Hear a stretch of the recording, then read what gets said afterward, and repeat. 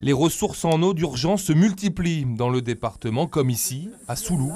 Dans les prochains jours, 600 mètres cubes quotidiens seront captés dans la rivière Mrowa-Chirini pour alimenter le réseau.